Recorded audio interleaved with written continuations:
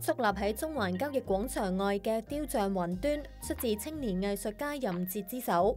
雕像望落似係兩個人對壘，其實係一個人同自己嘅較量。我很喜歡武士，因為我覺得武士呢兩個方面，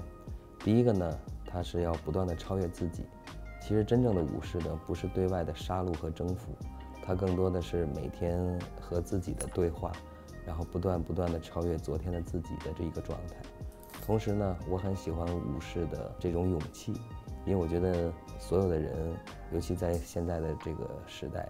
其实很多的，呃，头脑是足够的。但是我们有没有超越自己、改变自己的勇气？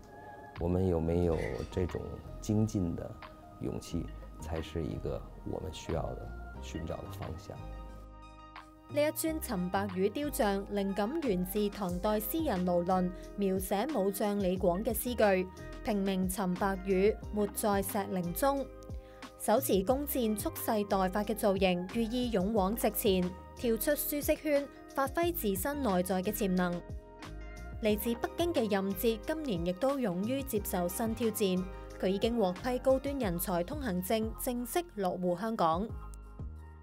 政府舊年年底推出高端人才通行證計劃，重點招攬高收入人才同埋全球百強大學畢業生來港發展。截至上個月底，一共收到超過一萬四千宗申請，超過八千七百宗獲批。任哲正係其中一員，佢形容香港係中國最好嘅對外交流窗口，期望通過香港將中國文化帶到世界。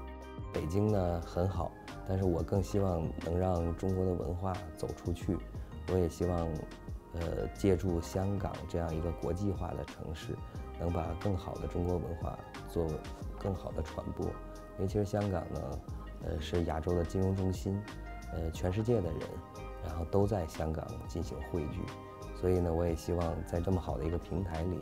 能有更多的机会，也能有更多的途径，能把中国的文化和所有的